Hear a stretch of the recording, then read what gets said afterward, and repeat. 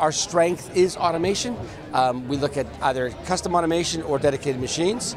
Um, we, we decided to put our business here on the Gold Coast uh, 16 years ago because the location is just amazing. It's just about attraction of that very high level skilled engineers from anywhere all over Australia and the world to work in, in, a, in, a, beautiful place, which then allows people to be very innovative, very creative, because we are in that market of developing new technology, new ways of doing things to improve manufacturing, to make it more affordable, to make things um, better to make, easier to make, safer.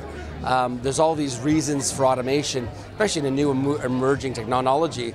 It's, it really can change a business to look at how they would manufacture um, those that their product in, in, a manner that makes it more desirable for their clients. So you look at automation as a way to become a better business, and it's not about replacing labor to just make things cheaper by getting rid of staff. It's about letting those skills be used for a large, a lot larger capacity. I think those are the key things.